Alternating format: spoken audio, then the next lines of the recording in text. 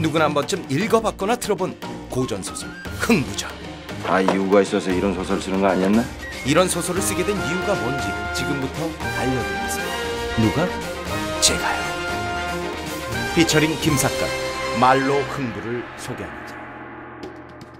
옛날 옛적이야 저는 발도를 필력으로 뒤흔든 천재 작가가 있었으니 그 이름 말이요 사람들의 마음을 움직이는 탁월한 재주가 있는 자입니다. 여러분이 아는 박으로 이 대박을 터뜨린 흥부가 아니고 소설로 대박을 터뜨린 흥행 소설의 귀재 흥 음란 소설의 대가 연홍불안한데 들어는 봤느냐? 독자의 마음을 들었다 놨다 하는 놀라운 글재주로 미성년자의 독서 불가한 작품을 쓰는 데는 다 그만한 이유가 있다고 하는데요. 자네 이름 석자가 조선 팔도에 알려지면 놀부형이 찾아올 수 있게 함이지. 넘쳐나는 좋아요, 늘어나는 구독자 수에 곧 좋은 소식이 있을 거라는 예상과는 달리 형의 소식은 감감무소식입니다. 그래요. 아무리 찾아다녀도 들을 수 없었던 형의 소식을 알고 있다는 바로 그분이 나타납니다. 빨리 물어봐. 빨리 빨리 빨리 빨리. 내 형을 찾고 있어. 더 간절하게. 들렸다. 다시. 내 형을 만나게 해주시오. 오케이.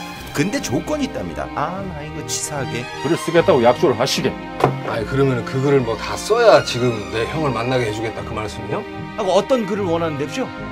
우리 형제 얘기를 써보는 게 어떻겠나? 어, 어떻게? 흥부에 특히는 로맨스인데? 밀란의 폐허에서 부모를 잃은 애들이었어. 그들을 데려다 키우고 공부시킨 게 바로 조혁이란 분이지. 흥부의 실제 모델이자 가난한 자들의 롤 모델 조혁.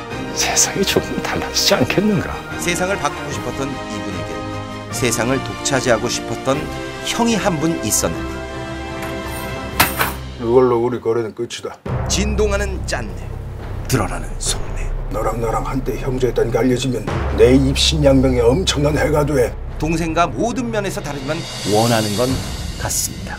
정감록에 누락된 그 몇십 장을 채워봐. 금산 김씨 세력이 들고 일어나 영무를 일으킬 것이다. 정감록 한 권이면 초단기 왕권 마스터 야심가 조왕리에겐 참 정감 가는 이 책이지만 이분에겐 참 유감이야. 이 정감록이라는 것을 대체 어디까지 믿어야 하는 것인지 나는 도무지 잘 모르겠습니다. 주변 사람 외모는 우습게 만드는 조선의 미모 왕이지만 내 꼴이 참으로 우습지요. 주변 분들이 우습게 생각하는 힘없는 왕 헌종. 신하들의 권력 싸움에 힘을 잃은 이 불쌍한 왕. 권력에는 큰 욕심이 없단 말이지요. 그럴 리가요. 요즘 장안 최고의 화제가 뭔지 아십니까? 찌라시 엑스파일 수집으로 왕권을 노리는 김응집. 소판서의 동생이 밀란을 일으켰던 죄인의 자식들을 걷어먹인다는 소리가 있던데 조신의 정감록 못지않은 김신의 응집 패치로 여론몰이에 나서는 사이 놀라운 소식을 알려주는 분이 또 있습니다.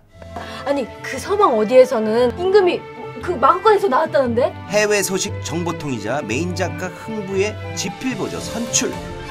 너 그거 만약에 지어낸 얘기면 너 앞으로 글쟁이 엄두도 말거라. 어? 아무튼 스승의 지필 보조는 물론 그 외에도 많은 도움을 준다고 하는데요. 근데 자네를 행복하게 해줄 소식을 들고 왔어. 흥부에게 처음이자 형의 소식을 알려주는 닉네임 방랑시인이자 흥부의 김사카 씨 바로 나야 나! 나야 나! 흥부가 그리도 기다리던 놀부의 소식까지 극장에서 만나보시게